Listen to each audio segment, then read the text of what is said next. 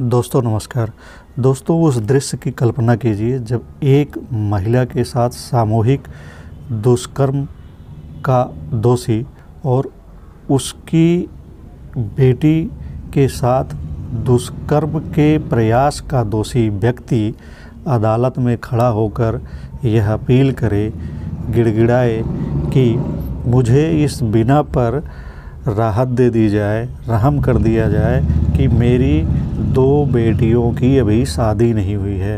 यानी कि उसकी दो बेटियाँ हैं और उनकी शादी करनी है, इसलिए उसे सज़ा में राहत दे दी जाए।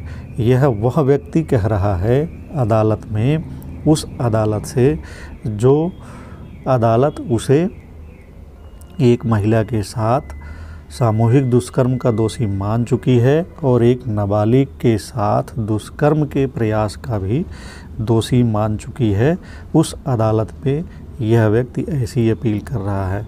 जी हाँ ये वह व्यक्ति है जो सपा सरकार में मंत्री था और सत्ता के नशे की चूर होकर के एक महिला की इज़्ज़त को तार तार कर दिया। तब तक अदालत में इतने सबूत इकट्ठा हो गए थे कि अदालत ने इस आरोपी को न केवल दोषी माना, बल्कि पूरी उम्र जेल में रहने की सज़ा सुनाई है। जी हाँ यह व्यक्ति है समाजवादी पार्टी का पूर्व विधायक, उत्तर प्रदेश का पूर्व मंत्री और अमेठी ज़िले की विधानसभा अमेठी ज़िले की एक विधानसभा सीट से विधायक रहा गायत्री प्रजापति। गायत्री प्रजापति पर यह आरोप एक महिला ने दुष्कर्म के लगाए थे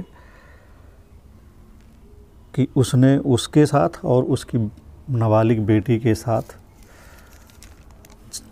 जबरन दुष्कर्म किया, प्रताड़ित किया और इस केस में अब अदालत ने गायत्री प्रजापति को अंतिम सांस तक जेल में रहने की सज़ा सुनाई है। जब अदालत ये सज़ा सुना रही थी, तब वह व्हील चेयर पर अदालत में उपस्थित हुआ था और अदालत से गिड़गिड़ाते हुए यह अर्जी की यह गुहार लगाई, यह विनय किया कि उसकी दो दो बेटियाँ हैं जिनकी अभी शादी नहीं हुई है और इसलिए उस पर रहम किया जाए। सोचिए कि रहम की ये भीख मांगने वाला तब सत्ता के नशे में चूर होके जब किसी महिला की इज़्ज़त के साथ खिलवाड़ कर रहा था, उसकी मासूम बच्ची के साथ की इज़्ज़त को तार तार कर रहा था, तब उसे अपनी बेटियों का ख्याल नहीं आया। यह भी ख्याल नहीं आया कि वह जो कर रहा है, जिसके साथ कर रहा है, वह भी किसी की माँ, बहन और बेटी हैं। तो ऐसे दुराचारी, बल्कि ये सामूहिक दुराचार किया गया था, जिसमें ये विशेष अदालत ने सज़ा सुनाई है। तो मामला यह है कि पूर्व मंत्री गायत्री प्रसाद प्रजापति एवं उसके दो सहयोगी अशोक तिवारी और आशीष शुक्ला को एम एमपी, एमएलए कोर्ट ने शुक्रवार को उम्र कैद की सज़ा सुनाई है। ऐसी उम्र कैद जो उसकी अंतिम सांस तक जेल में बितानी होगी। विशेष न्यायाधीश पवन कुमार राय ने इन्हें गैंग, रेप, सामूहिक दुष्कर्म एवं नाबालिग के साथ दुष्कर्म के प्रयास के मामलों में दोषी माना है। तीनों को अंतिम सांस तक उम्र कैद की सज़ा के साथ ही दो दो लाख रुपए का जुर्माना भी लगाया गया है। अदालत ने कहा है कि दोषियों द्वारा किया गया अपराध गंभीर प्रकृति का है, जिसका समाज पर असर पड़ता है। सहायक जिला शासकीय अधिवक्ता यशन राय व विशेष अधिवक्ता रमेश कुमार शुक्ल का तर्क था। सर्वोच्च न्यायालय के 16 फरवरी 2017 को दिए गए आदेश के बाद गौतमपल्ली थाने में। 18 फरवरी 2017 को सपा सरकार के समय खनन मंत्री रहे गायत्री प्रसाद प्रजापति, अशोक तिवारी, अमरिंदर सिंह उर्फ़ पिंटू सिंह, विकास वर्मा चंद्रपाल, रूपेश्वर उर्फ़ रूपेश एवं आशीष कुमार के विरुद्ध दर्ज किया गया था यह मामला। विवेचना के बाद पुलिस ने अदालत में आरोप पत्र पेश किया था। कोर्ट ने कहा कि अर्थदंड जिसके बाद इसकी इतने दिनों तक सुनवाई चली और अब अदालत ने फैसला दिया है। अदालत ने अपने फैसले में कहा है कि अर्थदंड की राशि पीड़िता के चिकित्सकीय खर्चे व पुनर्वास के लिए किए जाने का प्रावधान है, परंतु प्रस्तुत मामले में पीड़िता, जो कि लड़की की माँ का आचरण ऐसा नहीं रहा है कि उसे जुर्माने का भुगतान किया जाए। बता दें कि उसकी माँ आरोप लगाने के बाद मुकर गई थी अपने आरोपों से। जिससे अदालत खपा रही है, इसीलिए उसे जुर्माने की राशि का भुगतान नहीं करने का आदेश दिया है। जहाँ तक द्वितीय पीड़ित यानी उनकी बेटी का प्रश्न है, यद्यपि वह भी पश्चिम रोही हुई है। माँ के इनकार के बाद हालाँकि वह अपने आरोपों पर डटी रही, लेकिन अंतिम समय में उसने भी आरोपों से इनकार कर दिया था। तो माना जा रहा है कि माँ और बेटी ने दबाव में यह कृत्य किया था। अदालत ने कहा है कि इस मामले में पीड़िता वास्तव में पीड़ित है, जिसको पुनर्वास की आवश्यकता है। ऐसे में अर्थदंड की पूरी राशि द्वितीय पीड़िता को दी जाएगी, यानी कि माँ को ना देकर उसकी बेटी को जो जुर्माने की राशि है, वह दी जाएगी। पूर्व मंत्री के साथ उसके दो सहयोगी को भी आजीवन कारावास हुआ है। विशेष न्यायाधीश ने दो दो लाख रुपए का जुर्माना भी सुनाया है।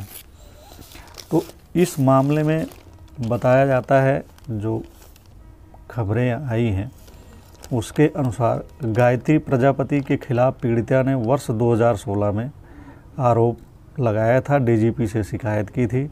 तब उसने बिल्कुल ये नहीं सोचा था कि मामला इतना आगे बढ़ जाएगा और एक मंत्री, सत्ताधारी मंत्री पर इस तरह का आरोप कितना आगे बढ़ पाएगा या सफल हो पाएगा, वो उसकी कल्पना भी नहीं की थी।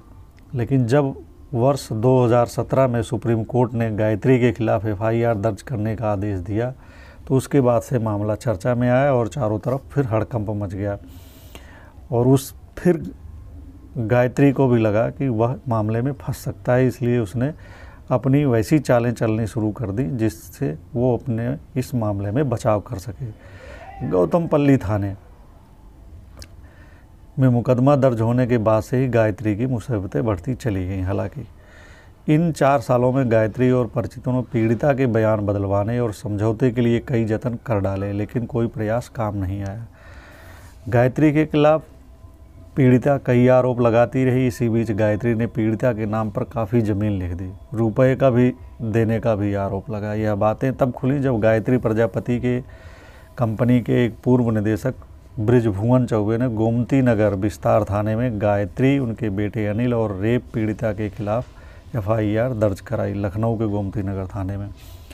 ब्रिजभुवन ने आरोप लगाया कि पीड़िता को बयान बदलने और फिर चुप रहने के लिए गायत्री ने उनकी ज़मीन पीड़िता के नाम कर दी। करीब पचासी लाख का प्लाट पीड़िता के नाम कर दिया गया था, जिसको पैसा ब्रिजभुवन को नहीं दिया गया था और ये ज़बरदस्ती कर दिया गया था। पीड़िता के समझौता करने पर गायत्री को लगने लगा था कि अब मामला उनके पक्ष में चला जाएगा, मगर कुछ समय बाद ही ब्रिजभुवन चौबे के कई राज खुलने से पूरा मामला फिर पलट गया। ब्रिजभुवन ने उनके कई राज सामने रख दिए। उन्होंने बकायदा प्रेस कॉन्फ्रेंस कर गायत्री पर कई आरोप लगाए। इसके बाद गायत्री ने कई और चालें चली। ब्रिजभुवन पर एफआईआर लिखाने की कोशिश की, लेकिन इसमें वह कामयाब नहीं हुआ। गायत्री ने ब्रिजभुवन को बाद में प्लाट की कीमत देने की बात की, जो कि नहीं मिली। पीड़िता ने बयान बदल लिया, मगर बेटी अड़ गई। वह बयान नहीं बदली। वह कहती रही, सज़ा दिला कर रहेगी। लेकिन ऐसा बताया जाता है कि बाद में दुष्कर्म पीड़िता की बेटी भी समझौते के लिए राज़ी हो गई। लेकिन तब तक कोर्ट को ऐसा पुख्ता सबूत मिल चुका था, जिसमें वह गायत्री प्रजापति को सज़ा सुनाने में सक्षम हुई। दरअसल, सामूहिक दुष्कर्म के इस मामले में विशेष अदालत ने वादनी गवाहों और अभियुक्तों को लेकर कड़ी टिप्पणी की है। अदालत ने कहा है कि वादनी एवं दोनों गवाहों का आचरण और कृत्य न्यायालय की अंतरात्मा को झकझोर देने वाला है।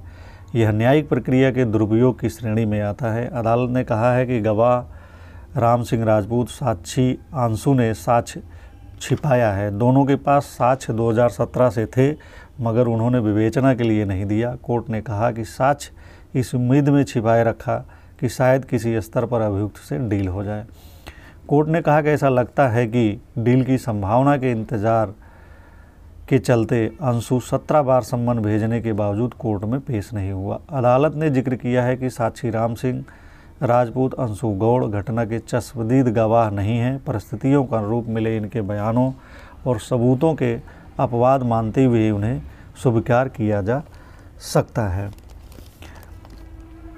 पीड़िता ने आरोप लगाया था कि प्रथम पीड़िता माँ ने भले ही विशेष अदालत के समक्ष बयानों से भटकने का प्रयास किया है, लेकिन उसके मजिस्ट्रेट के समक्ष दिए गए पहले बयान में न सिर्फ़ गायत्री प्रजापति और अन्य दोनों आरोपियों द्वारा सामूहिक दुराचार, बल्कि नाबालिग बच्ची से दुराचार का प्रयास का भी आरोप लगाया है।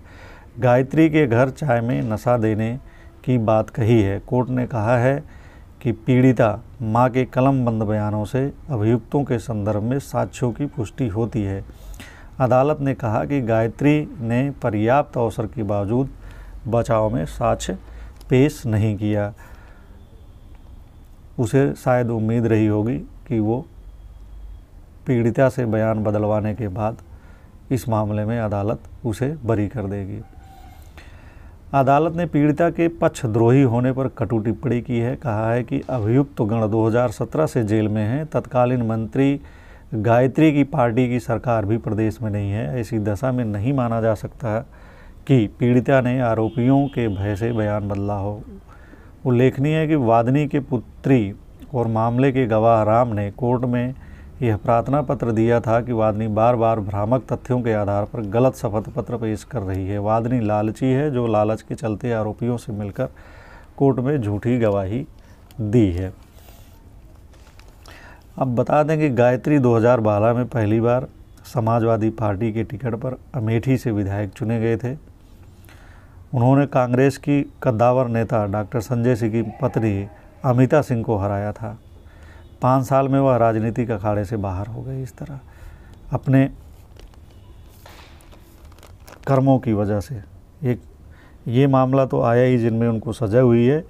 एक खनन का आरोप भी लगा था कि अवैध खनन से उन्होंने आकूत संपत्ति कमाई है और बहुत भ्रष्टाचार किया है। इसके भी उन पर आरोप लगे हैं जो मामला अभी अदालत में विचाराधीन है। दुष्कर्म के मामले में गिरफ्तारी के बाद जेल में रहते हुए भी वह 2017 में हुए चुनाव और 2019 में लोकसभा चुनाव में भी अपनी अहमियत बना रखी थी।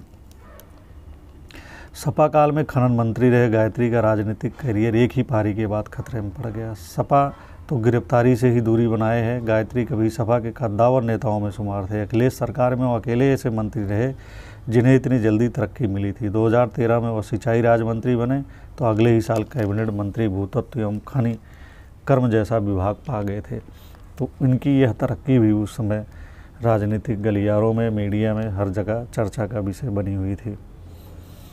अदालत का आरोप है कि निर्णय सुना जाने के समय जिला शासकीय अधिवक्ता फौजदारी मनोज त्रिपाठी के साथ साथ मुकदमे की पैरवी करने वाले सरकारी वकूल भी मौजूद थे। अदालत साक्षी पीड़िता साक्षी राम सिंह, अंतिम साक्षी अंशु गौड़ के प्रति संतोषजनक नहीं रही, संतोषजनक टिप्पणी नहीं की। इन गवाहों पर न्यायालय का सहयोग न करने, समय से साक्ष्य पेश न करने और कोर्ट के सामने झूठ का साथ देने का भी आरोप लगा था। तो इस मामले में कब क्या हुआ? वर्ष 2013 में चित्रकूट के रामघाट पर गंगा आरती के दौरान पूर्व मंत्री गायत्री से पीड़िता की मुलाकात हुई थी, ऐसा बताया जाता है। 17 अक्टूबर 2016 को पीड़िता ने गायत्री और साथियों के खिलाफ सामूहिक दुराचार की, डीजीपी से शिकायत की। 16 फरवरी 2017 को सुप्रीम कोर्ट ने पीड़िता की एफआईआर दर्ज करने का आदेश दिया। 18 जुलाई 2017 को गायत्री प्रजापति विकास वर्मा, आशीष शुक्ला अशोक तिवारी के खिलाफ धारा तीन सौ छिहत्तर डी, तीन सौ चौवन, ए वन, पाँच सौ नौ, पाँच सौ चार, पाँच सौ छः आई की धारा पाँच जी, धारा छः पाक्सो एक्ट में आरोप तय किए गए। दो नवंबर 2021 सभी को, सभी आरोपियों को कोर्ट के बयान दर्ज किए गए। और 10 नवंबर